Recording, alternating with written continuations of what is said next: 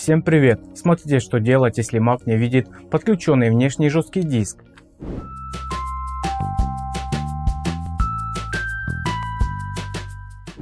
Обычно при подключении внешнего жесткого диска к USB порту Mac он появляется на рабочем столе. Помимо рабочего стола он еще отображается в Finder. Но что же делать если подключенный диск не отображается на рабочем столе, его нет в Finder. Если диск не отображается, скорее всего он неправильно отформатирован, была повреждена файловая система или он неисправен. Далее в видео мы рассмотрим как определить причину, связана ли она с проблемой самого диска, кабеля или порта, а также как ее решить и получить доступ к данным на неопределяющемся в системе накопителе. На самом деле может быть несколько причин, по которым диск не определяется системой. Неисправный или поврежденный кабель или USB порт. При повреждении кабеля или USB порта диск может работать некорректно и не распознаваться системой, не поддерживая формат накопителя. Накопитель отформатированный в файловой системе, не поддерживаемый macOS, не будет смонтирован, а соответственно доступ к его содержимому будет невозможен. Сбой в системе macOS. Различные сбои системы могут быть причиной неопределяющегося накопителя.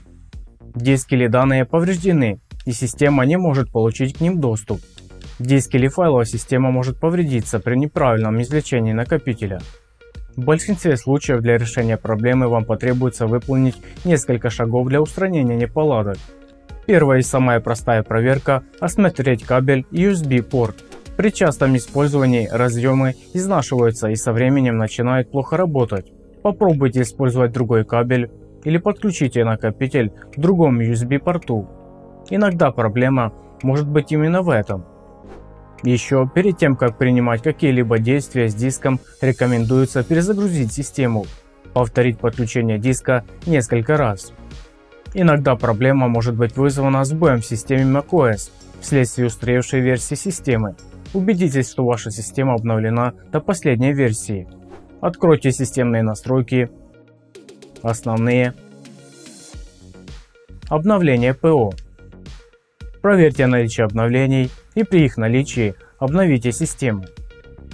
Попробуйте подключить внешний накопитель к другому компьютеру.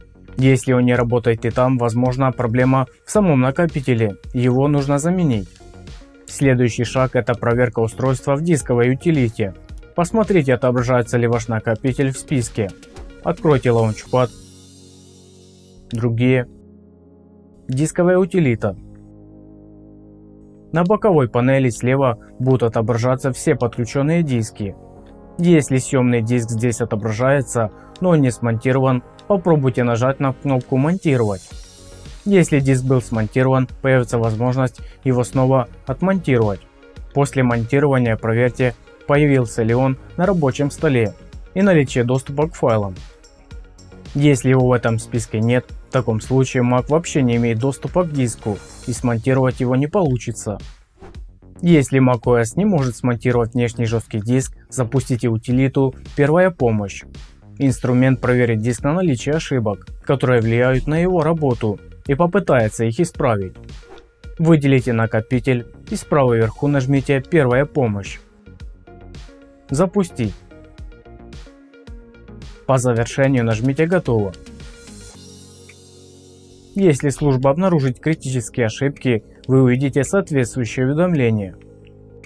Если программа «Первая помощь» смогла успешно устранить возникшие проблемы, диск должен подключиться.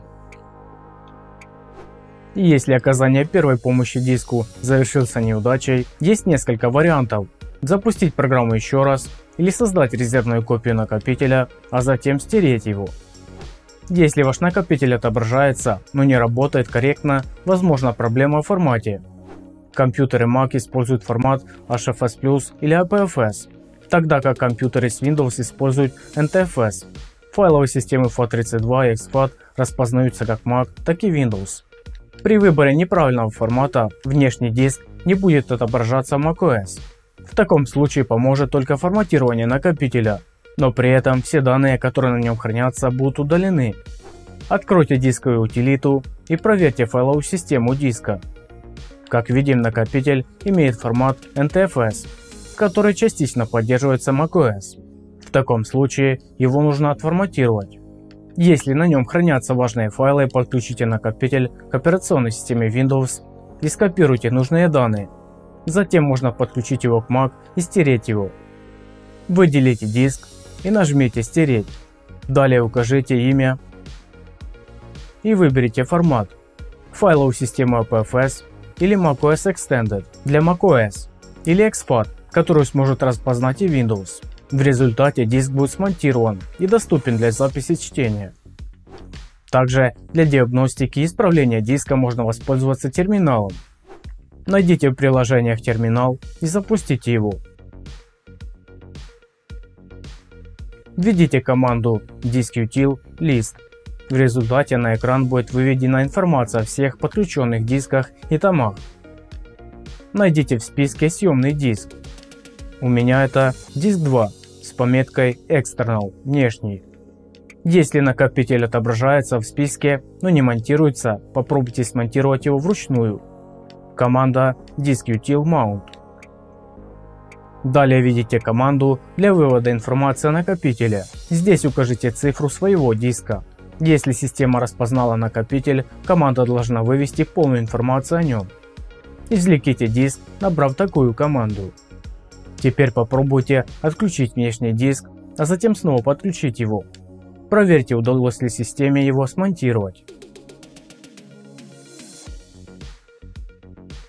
Если накопитель по-прежнему не виден, возможно проблема в его формате.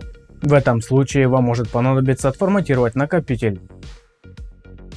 Команда diskutil erase disk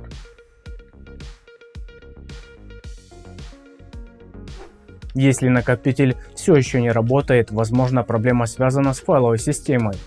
Для проверки исправления файловой системы выполните следующую команду.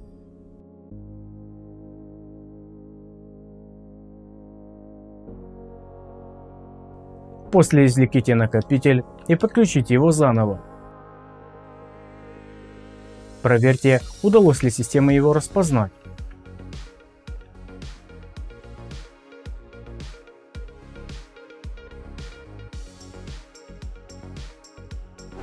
Еще один из вариантов решения – сброс энергозависимой памяти NVRAM. Энергозависимая память с произвольным доступом NVRAM хранит локальные настройки, такие как громкость, разрешение экрана и информация о жестком диске. Ошибки NVRAM являются источником многих сбоев, в том числе отсутствие отображения жесткого диска или USB накопителя. Для сброса на компьютерах Mac на базе процессоров Intel После запуска системы удерживайте клавиши Command Option P плюс R.